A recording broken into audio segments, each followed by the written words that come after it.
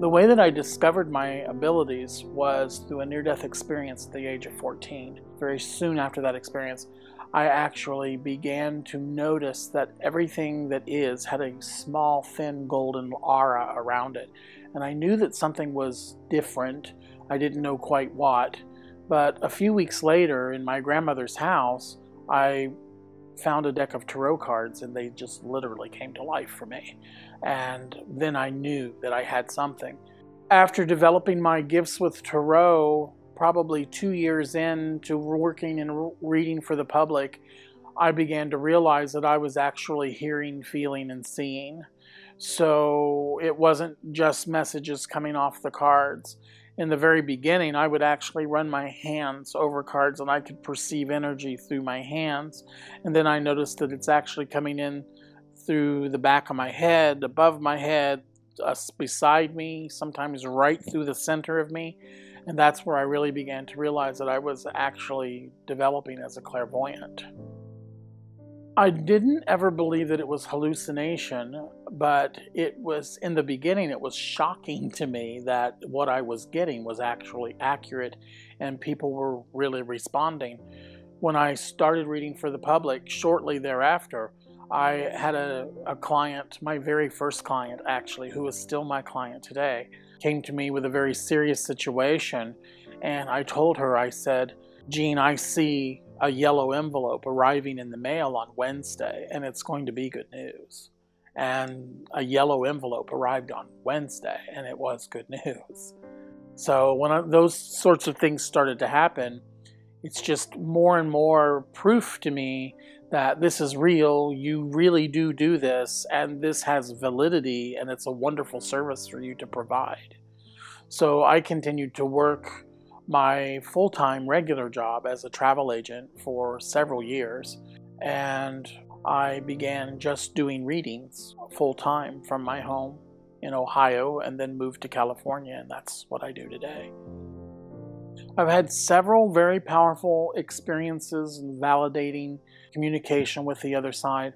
The most recent was actually quite dramatic. I had a young girl call me for an appointment, and this girl arrived at my office absolutely emotionally raw. She had just lost her boyfriend three days prior. He was murdered, and this girl was just full of emotion. And immediately the boyfriend came through he mentioned five things right off the top that she kept screaming and saying, That's him, that's him, that's him.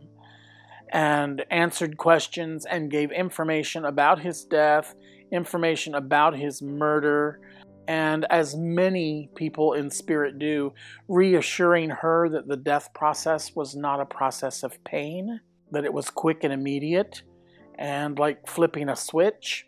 But at the end of the session, the young lady asked me, Is there anything that he can say to me that is so specific that I know for sure that it's really him?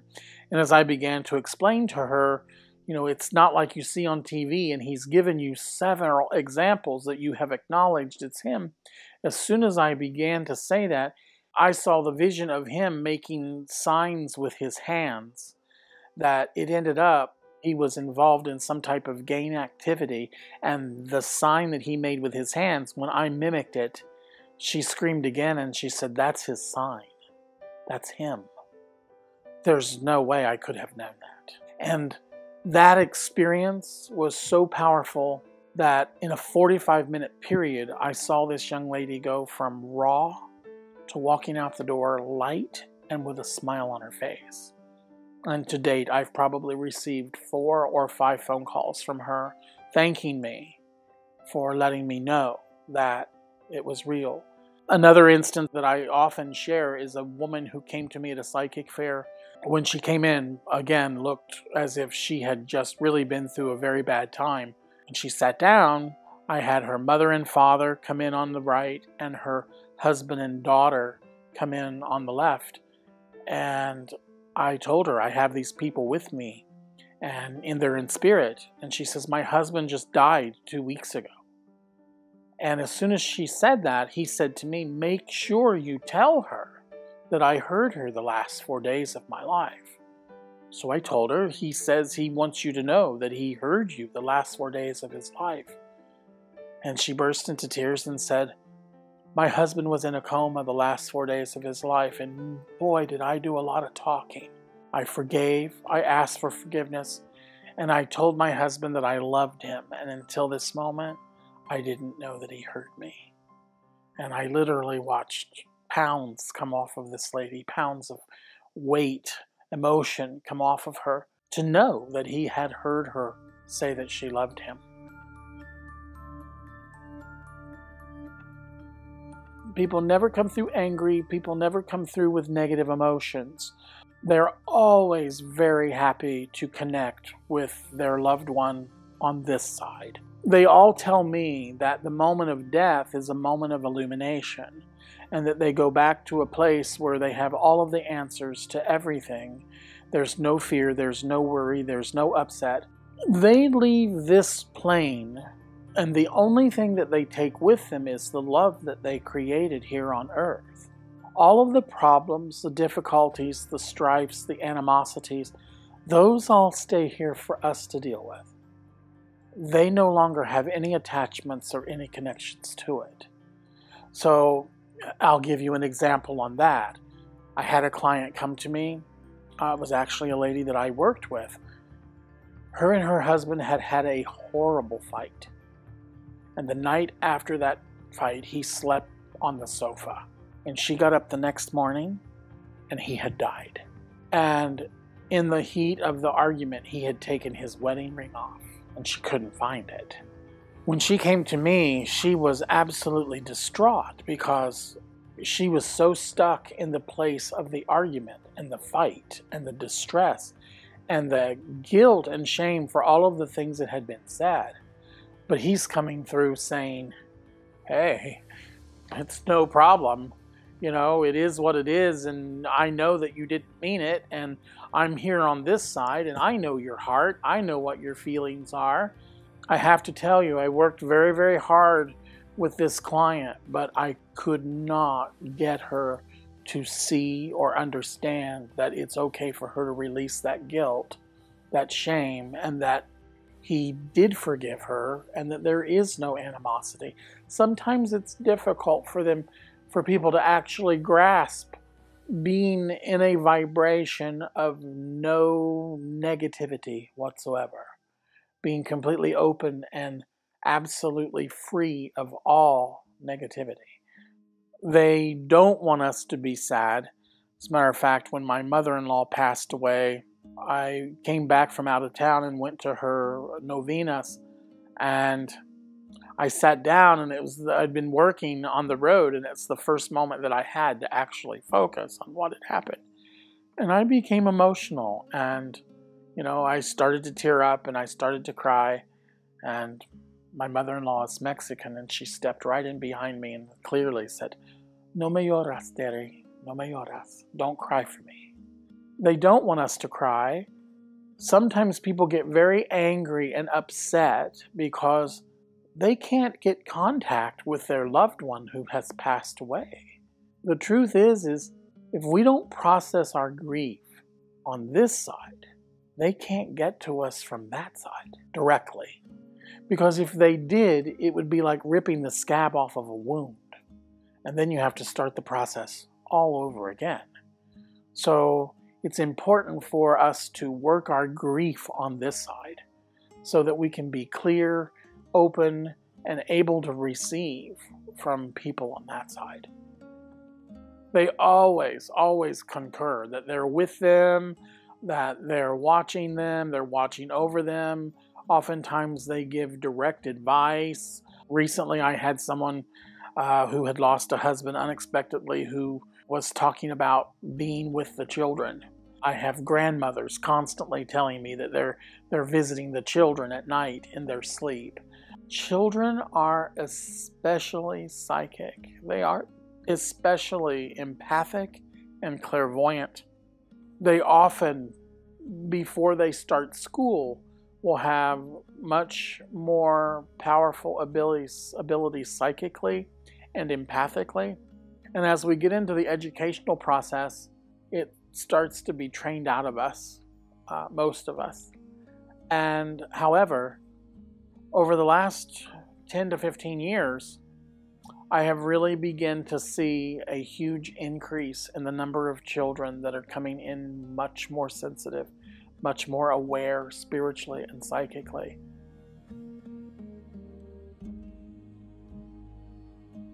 There's numerous ways that spirit can actually connect with us, even people who don't consider themselves to be clairvoyant or sensitive in any, in any way. One of the most common things that people need to look for is fragrances. Fragrance is the quickest pathway to the brain. It's also the easiest energy to manipulate. If you're sitting in your home and all of a sudden there's a fragrance that reminds you of someone who has passed, that's that person right in front of you. My mother, three weeks after her passing, my dog came running down the hall, and the next thing I knew, my entire living room was the fragrance of my mother's skin cream when I was a child. And it lingered for hours. And it was so evident that my mother was right there with me. It was literally like I was having a direct visitation. So, fragrance is one of the most common and one of the easiest.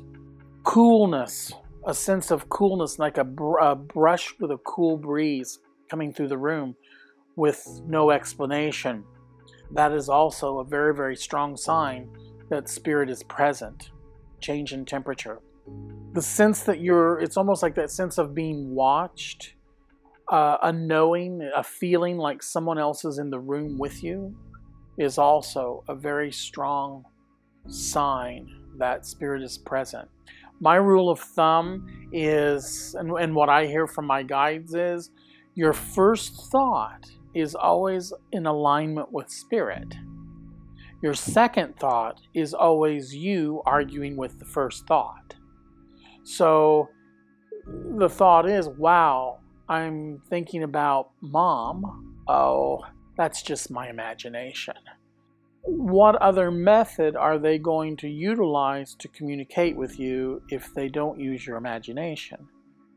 If they appeared to you, they would scare you half to death. They come through your imagination, they come through your senses. Dreams are probably one of the most common method of communication with people. And you know, there's a period, there can be a period shortly after death where spirit is very active. And then there's a back off period. It doesn't mean that the loved one has moved on, has left, is nowhere to be found. They're still present, but they don't need to be so present with you all the time. So there's multiple ways that they actually come through. We just have to be open, aware, trusting, and allow the possibility that yes, mom's actually reaching out to me. Uncle Fred is actually reaching out to me. You can speak to them directly through your mentality, through your thoughts. Um, you can speak out loud to them. It doesn't really matter. Whatever's most comfortable for you is what's comfortable for them. When my mother passed away, my mother and father had been married for 61 years, and I was very concerned about my dad and his ability to even make it through. And as I left after my mother's funeral, I told my father, Dad, talk to mom and tell her everything that you feel and listen, and she'll answer you. And for a month uh, on the phone, every time I would talk to him, he would he would say, I, I talk to mom all the time and she I'm not hearing anything from her. She's not answering me. And it occurred to me, I said, Dad, you need to listen with your heart, not your ears. When I say that we hear them, yes, we hear them, but we're not hearing them with our ears. We're hearing them with our heart, we're hearing them with our mind, or we're hearing them in our gut. That's most common.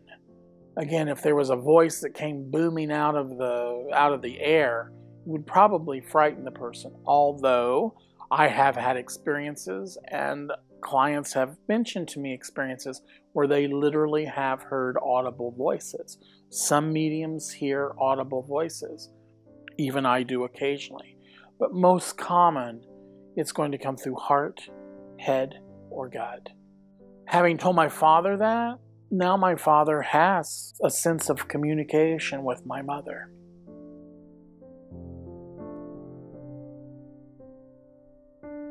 When people connect with a loved one in a session with me, I have never seen it be a bad connection at all. Um, there's always a very positive result. There's always an uplifting energy um, in their emotions and their spirit. They walk away feeling happy. They walk away feeling the love. It's it's interesting. It's like taking two electrical wires and bringing them together but it's not electricity, it's, it's love flowing. Um, that's the most beautiful thing, and that's the most beautiful thing, and my favorite thing about my work is actually connecting people from the other side because it's so healing. It's so incredibly healing. The number one question that I have from clients is Are they okay? Absolutely. They have absolutely no choice but to be okay they're in a place that is so much better that we can't even imagine. Sometimes, in cases of trauma or traumatic death, I have had a few instances where I have connected with someone who has had a very traumatic death experience and has had difficult crossing over to the other side. I once experienced driving on the road and there had been an accident on the freeway and someone had died in that accident just seconds before we arrived. And my being a medium, this man is immediately in my face saying, Help me, help me, help me, help me, help me. I, I'm out of my body. I can't get in my body. And, you know, talk very calmly, very clearly, and try to help direct this person into the light. That's the first time that I ever experienced someone in the death process in a state of upset or confusion.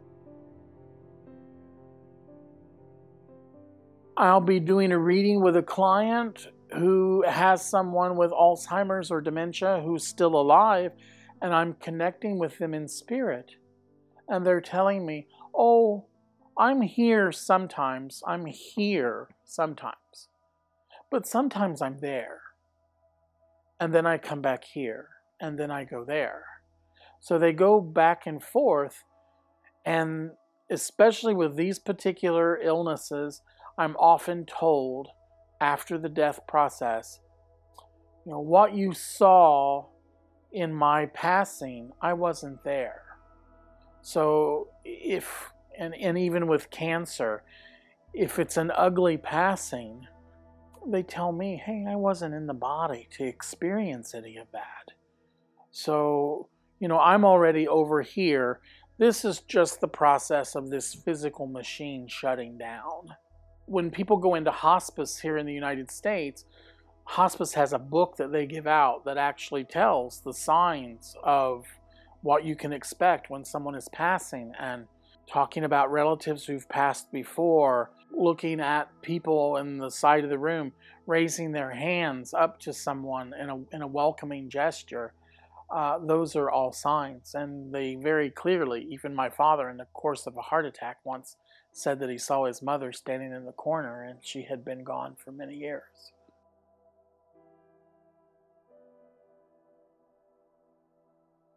As a medium, I'm able to shut down uh, whenever I want.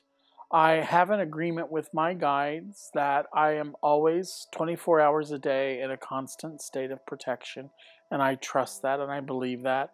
And I have had that proven to me over and over and over that it works. As far as walking down the street or going to the grocery store and seeing dead people walk through the aisles, it really is not like that. But in all honesty, in lots of occasions, I'll turn my head and see a flash of someone here or someone there, but it's no, it's not constant. It's difficult to see the pain that people are in and actually create because of their own fear and their disbelief.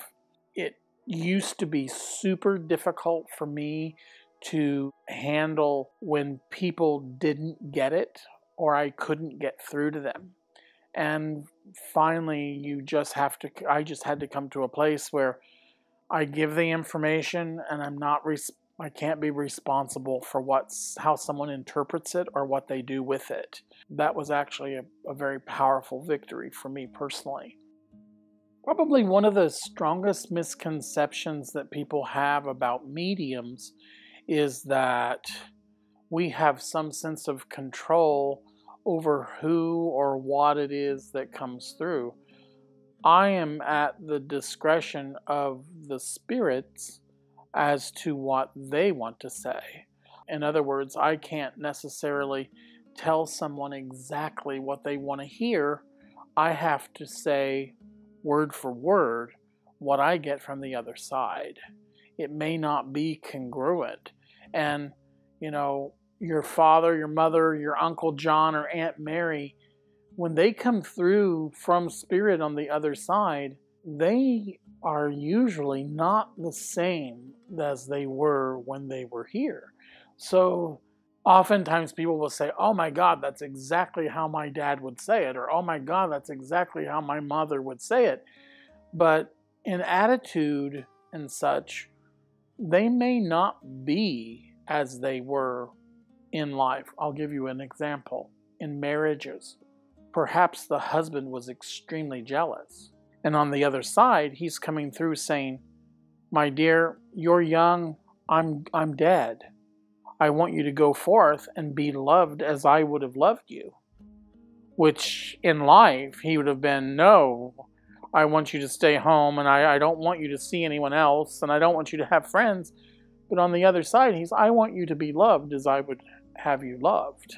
Absolutely, totally disattached from ego.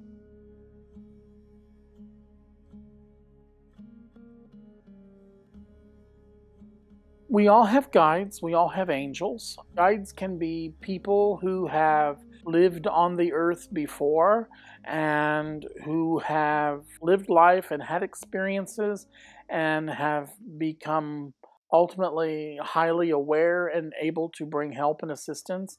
Angels are those who have never walked the earth plane and they're very special and very powerful. For me, ancestral people and guides come in in this area for me and angels come in directly from in front of me or from above my head or right up through the center of my being. You can ask anything that you like. One of the biggest issues for people in their communication with spirit, their guides, and their ancestors is that they just simply don't ask. We have been trained and believe so strongly that it's not normal, it doesn't happen, it's not real, that we actually forget to ask for what we want. But I say ask for what you want and then start looking hearing, feeling, knowing, sensing what's going on around you. An example on that, I had a friend, Danny, pass away several years ago, and I was on my way to be with his physical body before they removed it. And as I was getting ready to turn into the hospital parking lot, a car cut me off, violently cut me off moving into the parking lot. And it made me pay attention and when I looked at the license plate on the car, it said, I am free. And then I hear in my head, tell my mama. I walked in the room. There stood his mother. His mother had just lost her son. I said, Ma'am, I need you to know. Danny sent me a message. The message is, I'm free. It makes absolute sense. And it's absolute truth. Danny had been plagued with really horrible medical situations, and he's free. He's letting everyone in the room know hey, I'm free. Everything works. Oftentimes, elderly people will, will come to me and they're giving me the symbolism of them doing exercise or jumping jacks. And that says to me, everything works. I have no limitations. And that's good news for people here.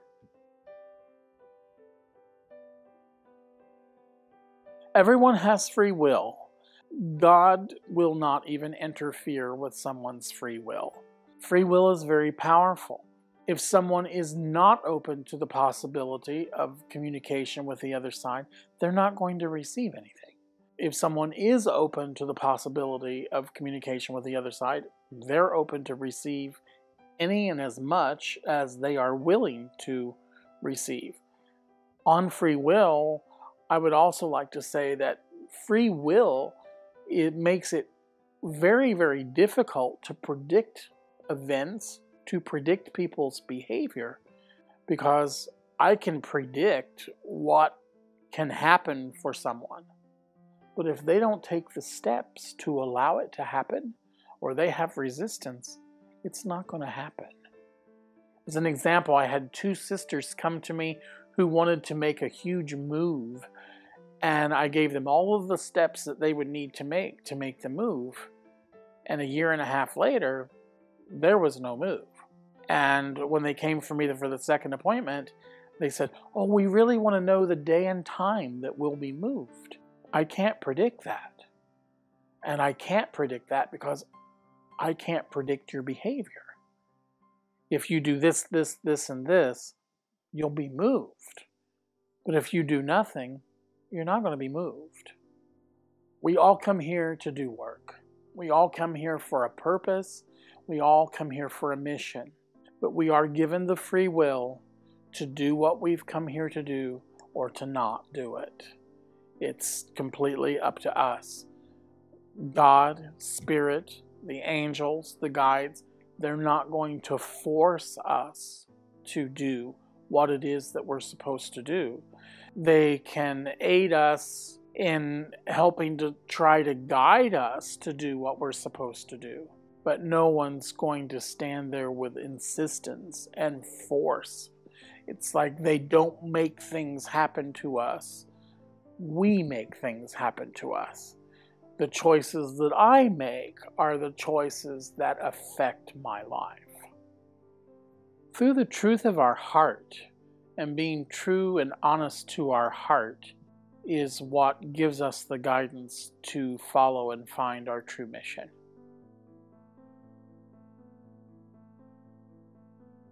Fear is the biggest block on the planet. Fear stops energy in its tracks. And fear is false evidence appearing real. It really is not real. Whenever you have the thought that I would like to do this, I would like to have this job, I would like to have I would like to make this amount of money, that's where we need to put our focus. This is the type of relationship that I would like to be in. That's where we need to put our focus. And when fear starts coming in and saying, well, that could never happen, you know that that's not going to be. That's when you really need to start addressing the fear and saying, that's not an acceptable outcome. What I'm creating is this. And if you really get good at discussing or shutting down the fear and opening yourself more toward the possibilities of what you do want, the next thing you know, what you want is going to be right in front of you and you're going to be living it. The law of attraction is absolutely a reality. There's several different people who've written many books about various forms of the law of attraction. It is it does work. It is something that we have to employ, but it's something we have to work every day. And as a very dear friend and spiritual teacher of mine would say to me, every moment, every thought, every breath is a moment of creation. And if in this moment we are creating love and joy and prosperity, and in the next minute we move into fear, we instantly stop creating the love and the greatness and we start creating the fear. So we start to undo what it is that we're creating. So it's important to stay heavily on the side of creating the positive and focusing on what is desired to be created as opposed to what the fear might be. The biggest problem on the planet today is fear. The reason that fear is a problem, of course, is that it affects everything. Everything we think and say and do, all the decisions and choices we make. all of our reactions, all of our responses, everything that we're experiencing can come from only one of two places. Conversations with God has made that very clear to me. We're either coming from love or we're coming from fear. And my observation is that most people, most of the time, and myself, more than I would like to acknowledge, coming from fear. So we have to look at our fears and find out what is fear anyway? What is it all about? What are we afraid of? First of all, as I observe it, we're afraid of life itself.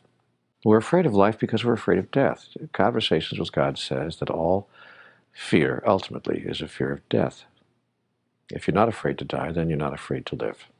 You want to know what fear is defined? The definition of fear is the thought that we are not going to be able to have something we think we need. It's as simple as that. A person who doesn't need anything has no fear of anything. When I don't need anything from you, I don't, I don't fear you.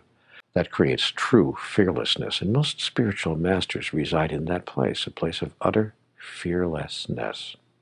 So when I begin to look at my own fears and begin to feel them, and when I have a, an idea that my fears are starting to, how do I say this, overcome me, overpower me almost, paralyze me, because all of us have been paralyzed by fear at one time or another. I take a close look at what do I think I need? More often than not, almost all the fears that I see people experiencing have to do with relationships of one kind or another, and especially those delicate relationships that we call romantic.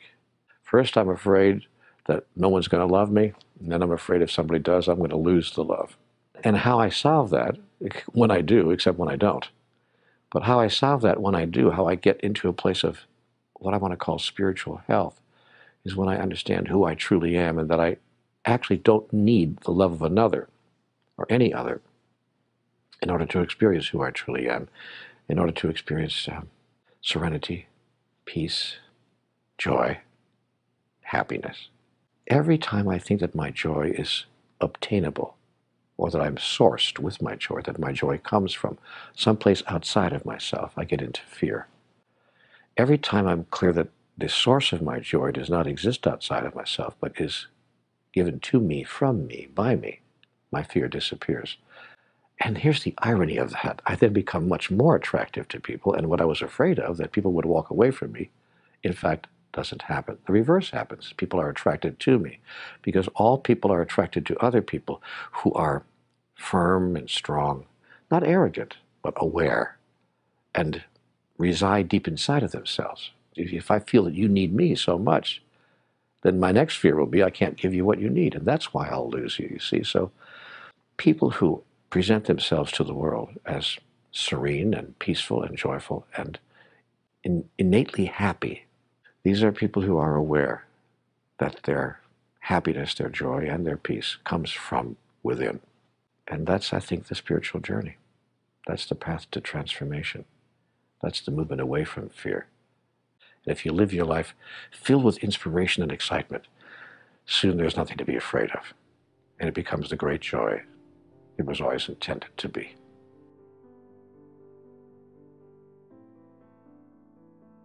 Indigo children, crystal children, very, very empowered souls.